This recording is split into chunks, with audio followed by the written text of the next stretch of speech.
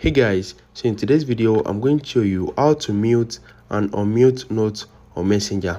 So with the new update of messenger they have added the notes feature. So you can now share a note to with your friends and family. So if you are getting notes from someone a lot and you want to mute their note their notes let me show you how to do that. And i'm going to show you how to unmute it also. So just long click on the person's notes and you're going to see hide contact. So there's no mute option for now but the only option we are getting is hide contact. So click on hide contact and you need to confirm it. Once click on that it's going to hide their note can you see? It is now hidden. So you're not going to find it here again.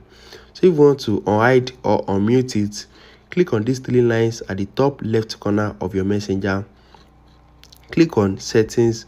Click on this gear icon to open up your settings and you need to scroll down to privacy. This is right here. Once you click on privacy click on hidden contact at the top and you're going to find the contact there.